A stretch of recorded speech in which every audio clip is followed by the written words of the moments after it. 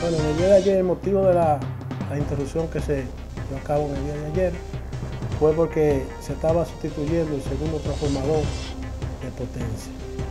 Eso con la finalidad para restablecer el transformador nuevo, está pautado. Ya esos trabajos se iniciaron el año pasado. Entonces en el día de ayer se sustituyó un transformador móvil que teníamos, por eso fue el objetivo de la interrupción en el día de ayer. Ya para la próxima semana ya tenemos pautado finalizar ya con el segundo transformador instalado, que son de 50 MVA, con la finalidad de mantener la capacidad máxima para la, para la ciudad, para mejorar, mejorar el servicio de la ciudad.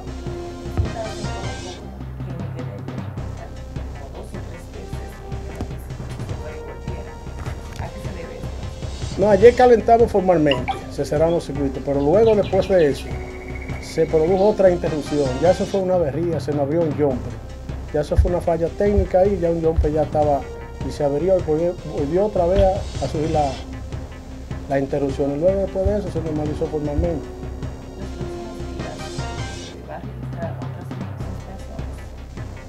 En el día de hoy, no está, todavía estamos confirmando, es probablemente que en el día de hoy tenemos una móvil que se atacó ayer, se archivó, la situación del chivo, el terreno estaba hablando.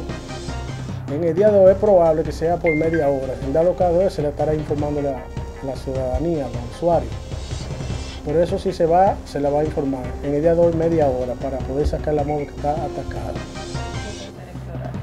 Eh, no te- todavía no tenemos, estamos haciendo los engranajes para el procedimiento del lugar y se va a informar, dado caso que vaya a ocurrir la